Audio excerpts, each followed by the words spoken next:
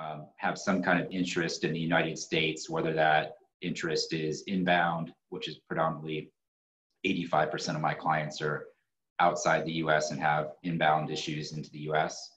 And then smaller segment of my clients, 15% or so are Americans that have interest outside the US. Um, so anyways, I, I, appreciate the opportunity to speak to everyone today.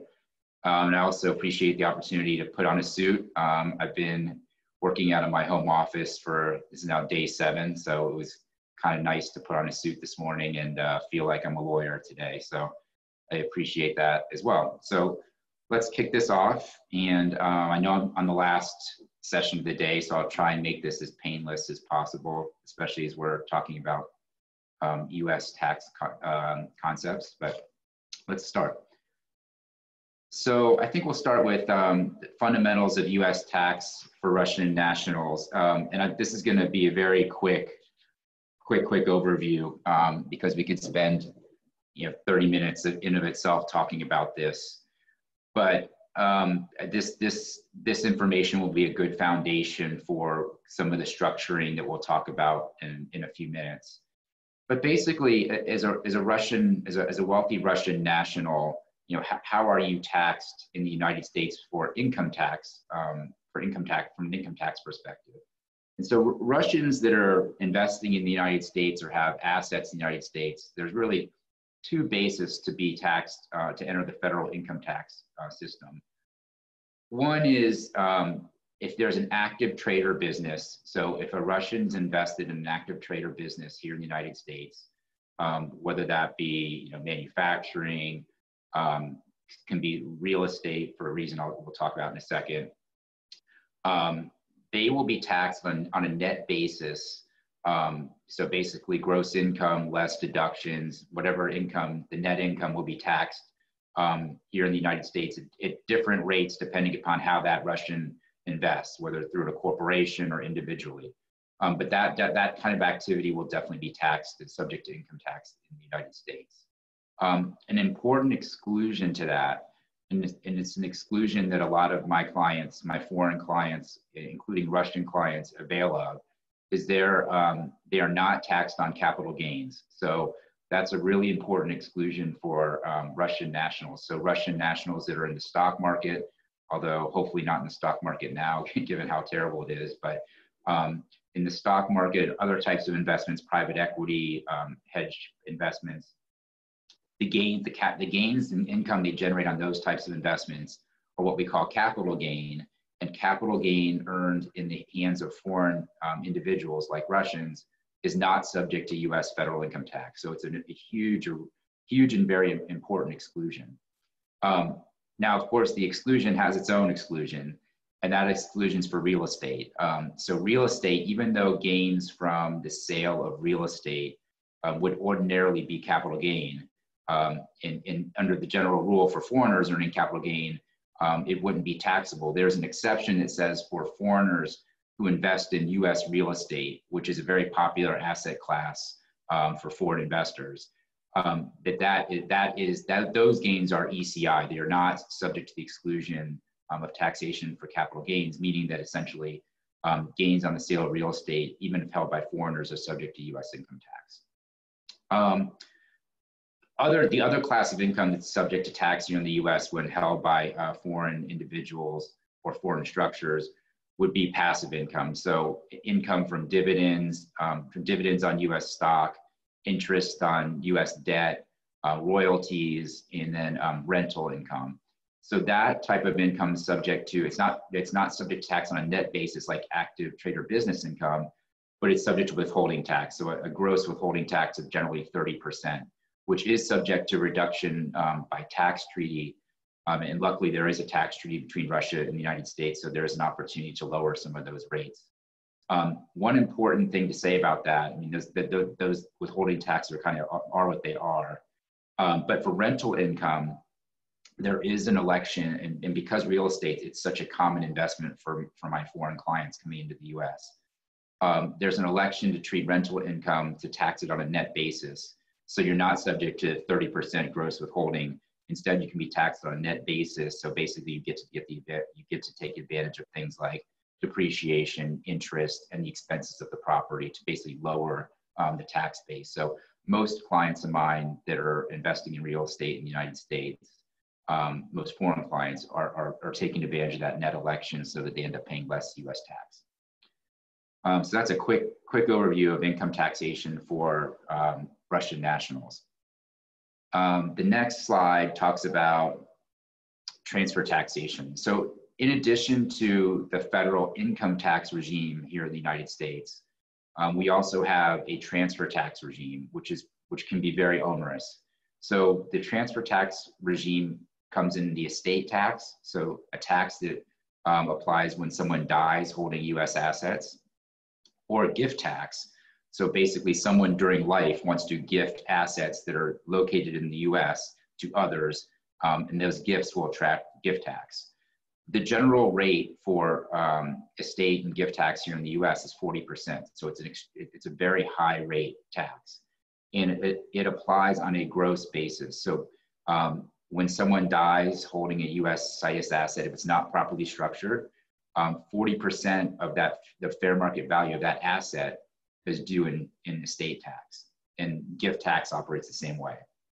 So when I have Russian clients or really any foreign client um, owning assets in the US, whether it be investment assets, um, whether it be personal use assets like a condo in New York that they spend time in, um, I'm always careful to make sure that we structure um, we structure that asset in a manner where we, we're not subject to federal estate and gift tax, given the fact that it's such a high um, confiscatory tax. And essentially, at the bottom of this slide, there's an example that if a non-U.S. individual holds um, a parcel of U.S. real estate, let, us just say it's a condominium in New York that they spend time in, and it's five million sixty thousand dollar fair market value, and dies hold, holding it individually, um, that person's estate is going to have a two million dollar tax bill due to the federal government um, as a result of that death.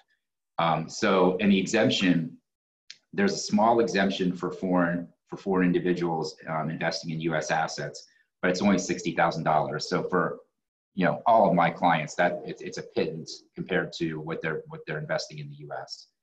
And then another important thing to note on this is in addition to real estate, um, US situs assets include um, securities. So unbeknownst to a lot of people um, and, and, my clients as well, and when they come in the door, um, they could have huge portfolio accounts with U.S. investment advisors at Merrill Lynch, Morgan Stanley, Bank of America, um, have U.S. stocks and they hold them in their individual name, and those those assets are also subject to um, the estate tax regime. Meaning, if they die holding those stocks and bonds and you know the securities in their individual name, when they die, 40% of the value of those of, of that portfolio will be need will, need to be paid to the U.S. government in estate tax. So the good news is that there's um, there are tools which we'll talk about later um, that we can easily use to block um, a, a, Russian national's exposure to those taxes. They just need to be put in place before we make the investment. And then quickly, um, so those are the rules that apply to Russian nationals. Now, I have clients, um, amazingly, that still want to get green cards and want to become US citizens um, and want to live here um, for a, a, long time, you know, for a long period during each year. And so those those clients face becoming fully income tax and estate tax resident. And what that means is, is for a foreign client who gets a green card, who becomes a citizen, or ends up spending too much time in the United States in any given year, and, and, we'll, and we'll talk about that in the next slide they become subject to tax on a worldwide basis. So the United States will tax will impose income tax on those clients um, on their worldwide income. So we do not have a territorial income tax system. So me as a U.S. citizen, if I if I have an investment, if I, if I was living in the Cayman Islands and had an investment in um, in China and made a billion dollars in that investment, the United States would still tax that billion dollar gain whether most countries that's not the case. Um, so it's very important for people who are, who, you know, for clients that want to get a green card, that want to become a citizen, or that want to spend a lot of time in the United States, that they understand that that's that's the potential downfall um, of becoming tax resident here. And then similarly, um, Russian Russian nationals who end up living in the United States, so they live here and then have a intent to permanently reside here, even if they can't, uh, if they're here illegally. Um, but if their, their if their subjective intent was to live here permanently and they are in fact here, they are subject to estate and gift tax on a worldwide basis, meaning that if they were to die um, while um, being living here and having the intent to stay here, um, the Uncle Sam would impose an estate tax of 40% on all their worldwide assets, including the assets in Russia, including the assets in China, no matter where in the world. So those are big, um, important tax issues that need to be addressed before someone um, immigrates to the US or spends a lot of time in the US. And so the next slide, and this is just something to be aware of as you advise um, clients that might touch the United States. Or you might not remember these rules, but just the things that you can jog in your mind when you're talking to them that, you know, wow, the US has this worldwide tax system and you have to be really careful as to how much time you spend in the US and what you do. And if you're not going to be careful, we need to plan, plan for um, for that for, for, for you to get income tax residency and, and hopefully minimize your tax burden once you get here. Um, but again, as, as kind of we talked about briefly, um, to become an income tax resident, to have, to have a Russian client become an income tax resident of the United States, really one of three things needs to happen. One, they get citizenship that automatically brings them into um, full income tax resident of the United States. Two, green card. So they get a green card under EB5 or some program where they get a green card, the you know the lottery. Once they get the green card, um, great to have the green card, great to have, have the ability to permanently reside in the US. The problem is that person's now fully um, US income tax resident on a worldwide basis. The third way to do it is something we call the substantial presence test, and it's in the slide that I've got on the screen. It's the middle bullet point. And basically, this is what, what we call the day count test. And what it, what, what, it, what it does is if you spend too many days in the US based on a formula in any year, um, for that year, you'll be treated as a worldwide income tax resident.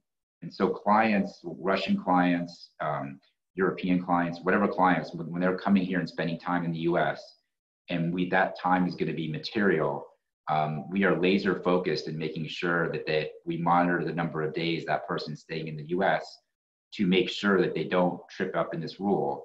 Um, and if they we think they are going to trip into this rule, we plan to make sure that effectively we, we minimize their um, tax, their US tax liability. So the way the, the test works, um, basically if you're here for 180, if you have a client or you're an individual you are here for 183 days or more in any year, you're gonna be fully income tax resident in the United States on a worldwide basis for that year. So 183 days, it's a certainty. Um, if you're less than 183 days in a year, what happens is you, when you, there's a calculation and it's on this slide. It's effectively you take all the days in the current year, then you take a third of the days in the year prior, and then the sixth of the days of the year prior to that, you add them up. And if that number is 183 or more, then for that year you do that. For the year that you're doing that calculation, your client is fully um, U.S. income tax resident. Um, so has to pay income tax on a worldwide basis on worldwide gain.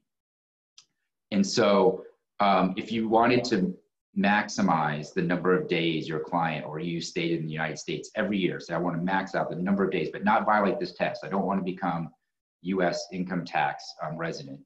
The number of days is effectively 122. You, you can spend 122 days each year and not violate that test. Um, and there are exceptions if you end up violating the test, um, like a closer connection exemption probably beyond the, the scope of what we want to talk about today, but um, it's out there. Um, estate tax, like we talked about before, purely it's, it's, it's much more subjective. There's no you know day count test for that. It's purely subjective. Are, is your client physically present in the U.S. and is there is there an intent to permanently reside in the U.S. at that point? So much more subjective. So um, with that, with that kind of very base background, let's let's get into some U.S. planning and structuring opportunities for Russian nationals. And by the way, I, am throwing a lot of information So I'm going to leave some time for questions at the end. So um, please, if you have questions on any of this as I'm going through it, um, note them and then we can revisit um, at the end of the presentation. So planning opportunities for Russian nationals. So basically when I have Russian clients come to me with US tax issues, um, there's some common situations that come up and, and there's obviously ones that aren't so common, but the ones I see most are you know, kids, you know, so the kids coming to the US for education, for college, um, you have an F visa, end up, you know, marrying someone here or wanting to stay here to work. And so that child shifts from being um, under an F visa, so not subject to US tax on a worldwide basis, to getting some kind of visa category where they will be subject to US tax on a worldwide basis. And then dealing with the issues of, you know, the family has a pristine, beautiful wealth succession trust structure outside the US. But what do we do now that we have a US taxpayer who's going to benefit from that structure? And how can we make, the, uh, make it efficient from a US tax perspective? So that's one issue that comes up frequently. Second one is diversification in a unstable world. So clients that are looking to use the United States um, as, as, a, as, an, as a place to invest, and a place to hold assets, as a place to have trusts. And the, the opportunities to use the legal framework, so the, the rule of law in the United States, the, the court system in the United States, the trust law in the United States to protect family assets, um, to use that as a base to, um, to avail of US investment opportunities, and then to gain some asset protection benefits of using the United States. And we'll get to that a little bit in, in, in a little bit. Um, another scenario that comes up frequently are family members immigrating to the US. So, family members wanting to be in the US on a permanent basis, or, or certainly on a basis that would cause them to be fully income tax um, resident here in the United States. So, basically, pre immigration planning what can we do for these clients before they come to the US, before they get a green card, to minimize the amount of US tax, of US tax that's going to be exposed to their assets? So that's an, that's an important one as well. Um, and then second, yeah, the fourth one is direct investment in the US. So basically invest, people who want to invest in the US and um, you know, how do we structure their investments in a way so they're not spending time in the US, but how do we structure their investments in a way that we block estate and gift tax, which is you know vitally important for the reasons we discussed earlier, but also make the structure efficient from an income tax perspective. So we don't solve their estate and gift tax exposure, but then put them in some kind of structure that's just horrendous from an income tax perspective here in the US where they're paying a ton of US income tax. So those are, those are important considerations for those clients. So I'm gonna go briefly on, on the next couple of slides. So in addition to those four scenarios, I also see a, a, what we're seeing a lot of lately is, you know, what, what I'll call using the US to, you know, quote unquote, institutionalize the family.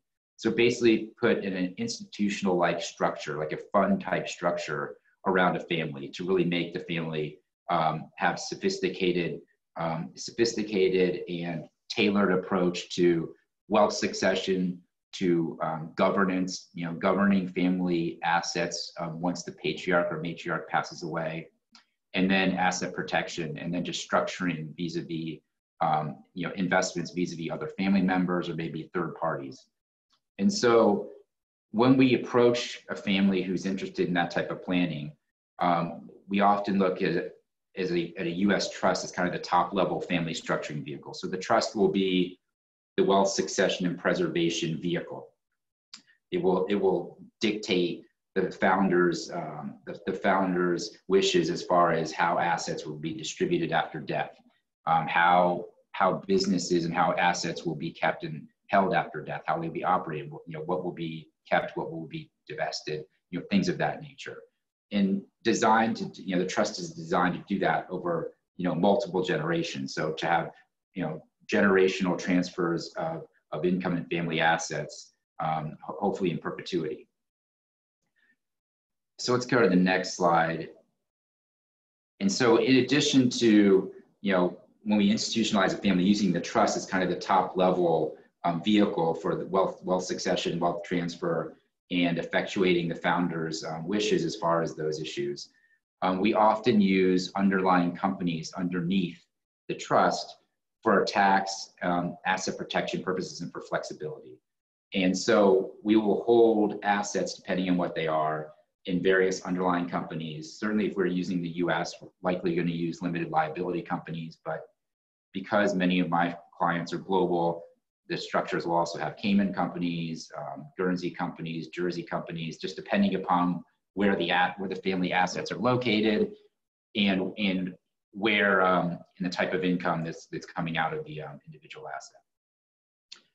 And so we'll use underlying companies um, to basically accomplish those goals. Segregate assets, protect assets from liabilities, um, the liabilities that might that might um, be generated in one of the assets, protect from the you know the other assets from those liabilities and so that's another important thing. So, so I think at the end of the day, if you look at a lot of my clients, my, my largest clients, if you look at their structures, and they they're going towards more of an institutional model.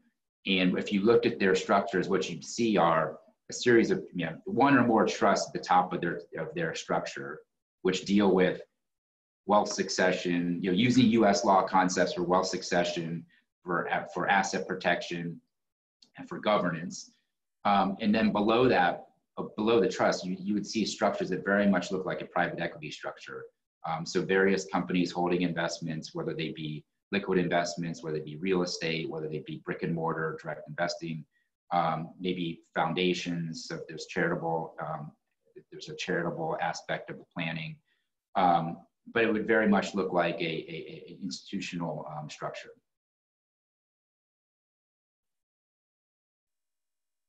So the next slide, um, just talking, we talked a bit about US trust, but I want to touch on a couple more concepts. Um, and, and we'll flush these out in the next couple of slides where I have structures.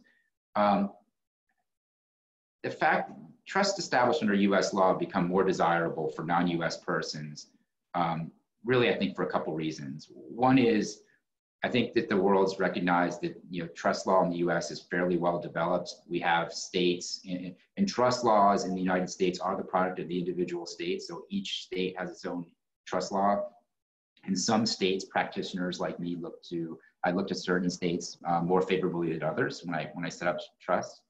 Um, I'm generally looking at Delaware, South Dakota, uh, Wyoming, Nevada. There's a few others, but basically looking for jurisdictions that have very flexible trust laws, have um, courts that respect trusts to understand what trusts are, and have case law that provides some kind of certainty as result, a certainty, certainty of result if there were to be litigation involving the trust. So for that reason, um, I think trust under established under U.S. law have been more popular. I think um, the asset protection benefits of the United States um, being, you know, the protection of the jurisdiction vis-a-vis other countries and other you know, potential creditors. And then thirdly, I think the privacy aspects of using the United States. Um, I didn't put it in here, but certainly the fact that um, certainly the fact that the United States isn't a signatory to CRS currently. Um, I think for clients of mine that are in um, countries where there is a minimal or no rule of law and there are safety issues, um, they've looked to the United States to set up their structures. Uh, of course, they need to be um, they need to be compliant, tax compliant in their home jurisdiction. But if they if they do that, um, they they do look to the U.S. as a place where they can maintain privacy in respect of their assets. I think that the U.S. is one of the few jurisdictions in the world where I think that if you looked at most members of the public, they think that the wealth, they, they, their belief is that the wealthy have a right to maintain privacy in respect of their wealth. And if, and if they don't want to tell the world what they own, then you know the rest of the world doesn't have the right to know what they own um, so long as they're complying with the law and paying taxes and doing the things they're supposed to do. Um, and so for those reasons, I think trust in US structures have become more popular.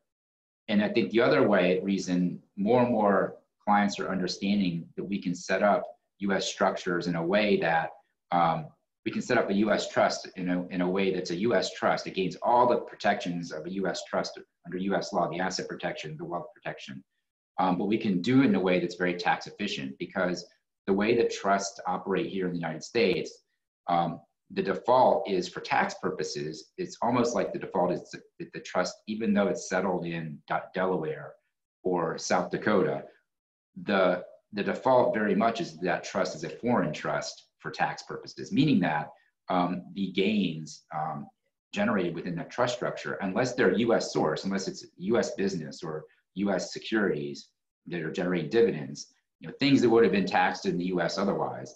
But if you have a US trust that's a foreign taxpayer holding a factory in China, that US trust does not cause that the income um, generated by that Chinese, Chinese factory to be picked up in the US. So basically, you can be a foreign taxpayer um, and have all the benefits of being a foreign taxpayer, but yet have all the benefits also of having a US trust. So that planning, I think, is very important for um, foreign families who um, you know, clearly don't want to use a US trust and have all their global assets pulled in immediately into the uh, US uh, income tax net. So here's a simple trust structure. Um, so in this chart, you've got a Russia, Russian high, ultra high net worth settlor uh, who settles assets, cash into a US law trust, let, us call it Delaware. Um, that trust has beneficiaries. Those beneficiaries can be Russian, they can be American, they can be wherever in the world.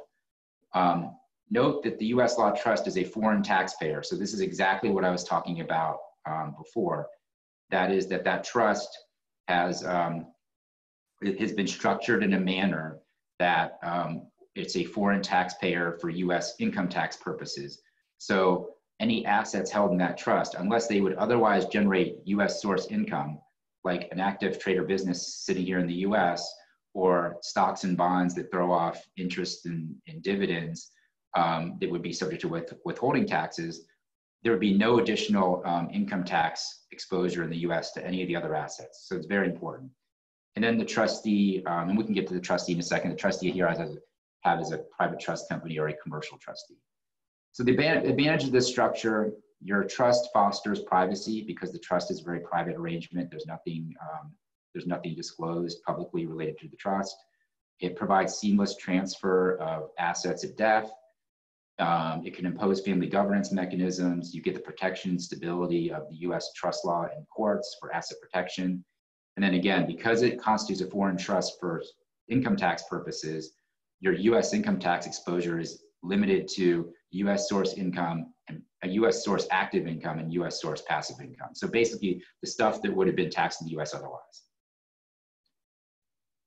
Um, quick, quick one on private trust companies. So a lot of clients, when they set up structures like this, are looking to the US uh, to set up trust structures or have you know, trust structures with underlying companies underneath them. Um, rightfully are worried about control. They, they, they don't want to lose control over their assets. And so a private trust company is a vehicle here in the US that we can use to give um, families some control over the trust. And really, um, once they have control over the trust, they have control over the assets um, settled into the trust. And so, what a private trust company is, it's a company whose sole purpose is to act as a trustee in respect of a trust or group of trusts. So, it's a trustee, but it's a private trustee. Um, and, and that private trustee only acts as trustee for a trust for a particular family. So it's a, it, it is only acting as trustee for a particular family's trust. Um, and so these can be set up, certain states provide for private trust company laws. Um, the best ones that usually I look to when I'm setting these up for families are Nevada, South Dakota, and Wyoming. And the reason is, is that the, those jurisdictions have a very light regulatory touch um, over trustees, uh, trustees. So usually in the states, if you want to operate a trust company, it's highly regulated by the, by the state. Capital requirements, disclosures that are public. Um, but for private trust companies in the right states, um, the regulatory burden on these private trust companies is very low. Um, you can maintain privacy, the operational costs are very low, and we can have the benefits of a trust com- of, a, of a private trust company, meaning that we can have a board of directors of that private trust company made up by the fam- of family members that basically can vote as a board to control trust um, decisions and like things like distributions, investments, um, things like that. So PTCs, we call them PTCs, have become very popular um, for foreign families. And so the next structure chart, which I have up now, just shows you the same the same structure we've been discussing with a U.S. private trust company as trustee. So again, extremely private if it's formed in a jurisdiction with a light regulatory touch. And then that, that trust company, because family members can serve on the board, allows the family to have control over the assets in the trust, and allows them to participate in, in decision. Um, we'll go and I'm going to skip asset protection planning just because of time and the fact that um, we talked a bit about it. I think the, the bottom line is, is that the US is an attractive jurisdiction for asset protection, um, given its power in the global landscape um, and its adherence to rule of law, and the fact that we have um, well-developed and long-standing vehicles to protect family assets, like limited liability companies, like trusts, like corporations, like certain types of partnerships. And so we can use those types of vehicles in connection with um, with a trust to provide further protection um, of family assets. So in this structure, which is uh, slide 16, this shows a um, what I call domestic asset protection trust. This is the exact same structure we've been talking about, except that this is a what we call a self-settled um, asset protection trust. So you've got a settlor, and here I've got a Russian ultra high net worth settlor, um, puts money into a domestic asset protection trust. So let's say $100 million, but also is a beneficiary of that trust. So the, the settlor can still benefit from that $100 million, still can get distributions. Um, but the trust has to be irrevocable. So basically, once the settlor puts that money into the trust, it, it's forever. And that's the asset protection benefit because if the settlor could unwind it, it wouldn't operate as an asset protection vehicle.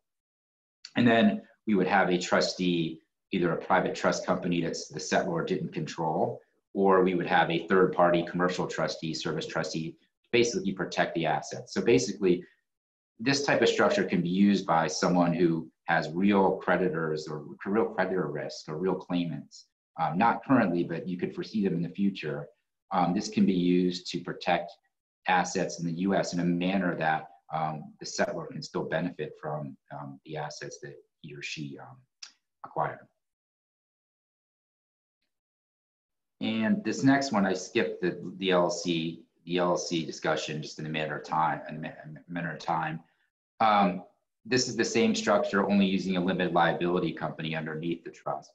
And again, this is something we do all the time to kind of segregate assets for, for asset protection and liability protection purposes. So basically, you could have a number of limited liability companies, and so long as they're administered correctly, um, a liability that exploded in one, say a lawsuit or uh, or whatever, um, would be limited to that li- that limited liability company and the assets within it, whereby your other limited liability companies that held other family assets would be shielded. So using limited liability companies, using foreign entities like Cayman companies or, Jer- or Jersey or Guernsey companies, also like in, in, that manner, will further the asset protection goals um, of a family.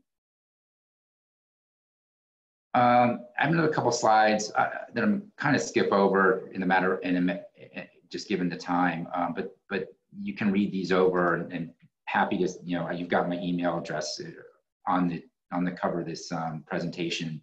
Be happy to take questions, but you know briefly, it's the we also have a tool called uh, private placement life insurance here in the United States, and a number of families are looking to life insurance as kind of another asset protection tool. And what you can do with PPLI is you can you can put family assets, cash, or in certain circumstances, um, assets other than cash, maybe securities, into a PPLI policy, fund it into a life insurance policy, um, give the, the, the, the, the life insurance company basic parameters as to how those proceeds are to be invested. Um, although the family can't control investment or it won't, it won't satisfy as PPLI, but give them parameters on how it's invested and then once those assets are in that PPI, PPI, PPLI policy, excuse me, um, they will not be subject to U.S. In income tax. So the, the, the, the, income will be generated free of U.S. income tax. So it's a huge gain. gain. And then two, it's, a, it's, it's an amazing asset protection vehicle because it's almost impossible for creditors um, or potential claimants to pierce the, um, the PPLI policy. So um, the structure chart on page 20 basically shows the use of a PPLI policy in an asset protection structure using a US um, domestic trust. Um, finally, just a quick um, we talked on about some of the tax concepts and, and on investing in the U.S. I just wanted to quickly go over some structuring um, for potential invest, investments in the U.S. Um, when a Russian client comes to me looking to invest in the U.S. through one of these structures, a U.S. structure or otherwise, um, and depending upon the asset, you know, we, we have we have a couple uh, tax planning goals. One, we want to obviously want to minimize their exposure to income tax here in the US. We want to minimize or even better eliminate exposure to US estate and gift taxes, that 40% gross tax. And then we want to manage state tax and local law considerations. So I've been talking a lot about federal tax, but a lot of the states have also imposed their own income taxes that we want to manage. And then with those goals in mind, we have you know key considerations that we need to think about kind of how we you know the questions the answer the, que- the answer to these questions will dictate how we deal with our goals so one is you know what is the underlying investment um, will the underlying investment generate income hopefully yes and if so um, what kind of income um, and in that question what i'm saying will it generate um, income some some assets won't if it's personal use property you know the family's vacation home in new york i mean that's not something to be income producing um, and in that case, we're probably more worried about a you know, blocking exposure to state and gift tax than worrying about income tax. And then thirdly, what's the expected holding period of the investment? And so this next slide kind of shows a structure that deals with some of these issues. Here, I picked real estate. It could be a, you know another asset class, but you've got a Russian investor who wants to acquire U.S. real estate. So how do we make this tax efficient? Well, in this instance, because corporate federal, uh, our federal corporate tax is only 21% right now. Um, we've gen- we generally look to a corporate structure. So basically income on that real estate is charged uh, tax at 21%. The problem, however, is um, we need this non-US corporation um, at the top. And the purpose of that non-US corporation is to block um, this investor's exposure to uh, US federal uh, estate and gift tax. Um, if we don't have that, then when the Russian investor passes away, um, that he'll, he'll, he or she will either be holding a U.S. corporation, which is a U.S. situs asset for estate tax purposes, or real estate, which is a U.S. situs asset for estate tax purposes. Um, if he or she dies holding holding those assets through a non-U.S. corporation, at, at that person's death, they're they they are holding stock in a foreign corporation, say Cayman, Jersey, Guernsey, which is not subject to U.S. Um, estate tax um, irrespective of the fact that that BVI um, Cayman, Guernsey, Jersey corporation holds beneath it U.S. situs assets. So that, that non-U.S. corporation serves as a blocker. So it's very important. The problem, the only problem with, with from an income tax perspective, so, so that, that structure solves the estate and gift tax um, issue. The only problem is, is although our U.S. real estate, when it generates income, it's taxed at a low rate of 20, 21%. Um, when you dividend from the US corporation to the, to the foreign corporation, there's a 30% withholding tax we talked about earlier. Um, that can be avoided, however, if you liquidate at the end of the project. Um, you don't distribute um, income up peri- or dividends up periodically, you just wait to liquidate the structure at the end. You can eliminate that, um, that 30% tax and effectively pay a 21% um, income tax rate for, for life on the investment. So, um, so that's a really nice structure. Um, the second slide, the next slide, last slide, um, is the same exact slide, only it imposes a trust on top. And so this is basically taking our trust planning that we talked about a few minutes ago with this tax planning for investing in the United States and kind of wrapping it all together. And the, income tax and the state and gift tax um, treatment is exactly the same as it was in the previous slide. Um, only in this structure, you get all the benefits of the U.S. trust, um, the U.S. trust structures that we talked about earlier. Um, so this is a really nice um, slide to kind of tie all the concepts together. So anyways, um, think we're pretty far along. I, I got some time, some questions. Um, so I don't know if anyone has any questions, but I'd be happy to take them.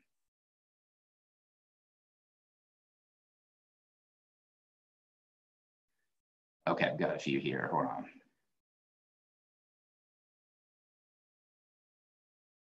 Yeah, so the question was, are the tax implications for Ukrainian and CAST um, nationals different or the same for Russians? Um, they will be the same. These concepts will be the same except for tax treaties. So to the extent that we can utilize tax treaties to lower withholding rates, um, like uh, the withholding rates on dividends and interest, um, Russia Russia has a um, tax treaty, um, and we'd have to check for Ukraine and Kazakhstan. Um, but otherwise, these concepts are applied equally across the board. Um, next question.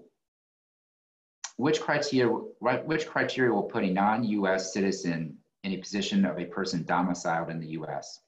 So domicile for in the US for purposes of estate and gift tax purposes depends upon um, being present, physically present in the United States, so be living here. And but but it's more than that. It's living here plus an intent, a subjective intent to permanently uh, live here. So it's it's a very hard thing to prove. Um, now, obviously, if the IRS has some kind of like emails or writing or, or, or ask your ask someone's friends, you know, what was this person's intent? Were they really, you know, oh, this person was going to live here forever?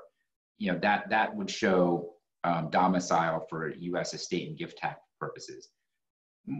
More um, more practically, however, what the IRS would look for is, you know, where is this person's where's the center of their vital activities? So yes, this person's living here. Where, where are their doctors? Where are they voting?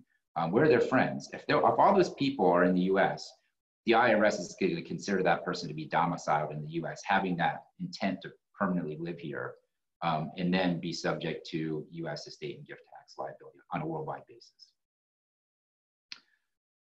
Um, and for income tax, it's much more objective, right? For income tax, we're talking about day count, monitoring day, uh, mo monitoring days. We're talking about we're talking about um, green card. Obviously, if this person's going to get a green card, you know, advising them before they get that green card and then citizenship. Um, next question. Would you say that today's US tax system is more scrupulous when studying Russian nationals' worldwide income situation um, in their family close relatives income? I'd say no. I, I, don't think that Russian nationals are being picked out any more than any other um, any other national, foreign national. Um, it, it's not what I'm seeing in my practice, and, and I, I work for a fairly large group. Um, we have about 50 uh, private client lawyers at my firm, and I think my partners would feel similarly. Um, there's no doubt that under FATCA and under um, some of the information exchange that's come in under FATCA, we're getting information, the IRS is getting information about foreign nationals um, having accounts here in the US um, through some, some of the information reporting. And there's just been a flood of those forms being coming into the IRS. And I think they're just now you know, going in some warehouse in you know, San Francisco, and they're just now figuring out ways to kind of extrapolate the data from these forms. And they're starting to do a bit of audits um, on people where they, where they see um, possible instances of um, uh, uh, of tax noncompliance. Like I have a client of mine who's Pakistani, who was American, he was American. Um, that he had a, there's a form 3520 where he was supposed to report some trusts and they didn't get filed in a couple years. And uh, through this program, I think the IRS found out about it. And you know, obviously, we have opened up an audit. So I think basically they're equal opportunity at this point. I don't think there's any specific uh, focus on Russia or Russian nationals. Uh, the last question, um, what, what kind of money are we talking about when, we, when deciding to set up a trust so it makes sense? And US lawyers would be happy to work with these sums. Level of minimal funds for setting up a trust in the US, a million, 10 million, uh, 50 million. So it depends. It depends. I, I think a million, probably too low. Maybe if there's asset protection issues, might make sense. Um, 10 million, certainly you could do it, 50 million easily. Um, the, costs are the cost, obviously, of legal documentation to set up the trusts, which is relatively straightforward.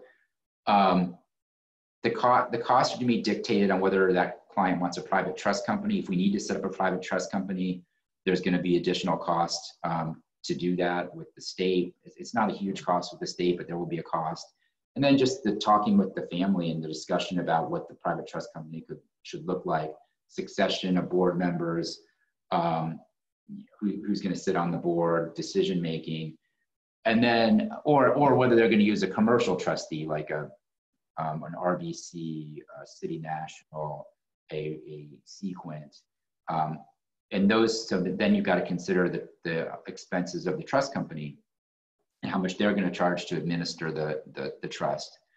And so um, I think it just depends on what the family wants. I think you can do it on a relatively um, efficient basis. It will, the efficiency that is driven by the types of assets and the complexity of the assets and the sheer number of assets or value of assets you're putting in the structures. Um, but the, the cost can depend upon what the family wants. But I think millions a little tough. Like I said, 10 I think is doable. Um, and then 50 is definitely doable. But it all comes down to kind of the bells and whistles that the family wants and what we want to build into the structures. So I think that's my last question. Um, I appreciate the opportunity to talk to you all today and um, hope that wasn't too much information in a short period of time. Um, my, you have my contact information, my email, my phone numbers. Feel, please feel free to reach out if you have questions, or you want to follow up on anything. Um, working from home right now for the foreseeable future, but uh, business as usual otherwise. And uh, and I do come to Moscow. I was there in uh, October, and I'm planning. I was planning to come back um, next couple months. We'll see how the travel um, restrictions play out, but I definitely plan to be back in Moscow sometime this year, and um, would love to meet meet folks that um, might be interested in this type of uh, planning.